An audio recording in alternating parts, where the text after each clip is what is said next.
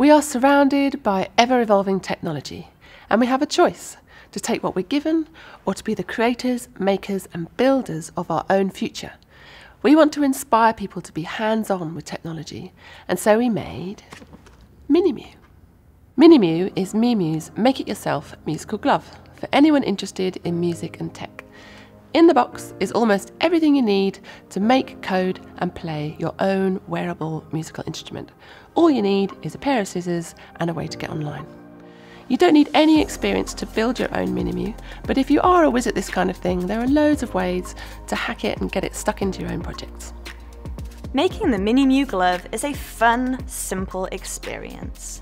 You start off with a piece of felt, a needle and some thread, all included in your kit, and you make your glove.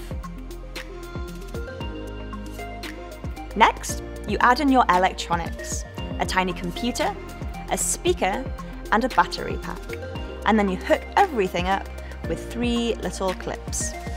Once you've made your MINI.MU glove, you can bring it to life by visiting an interactive website where you can tell it what to do. By dragging and dropping simple blocks of code, you can decide which notes your instrument plays and how it responds to the movements of your hand. Then it's time to play. Put on your glove and show off your musical creations. But this is just the start. You can code your glove as many times as you like, so you can make your glove go wherever your imagination takes you. The MINI.MU uses the popular and versatile micro:bit, so there's a whole ecosystem of people and projects out there just waiting to support and inspire you.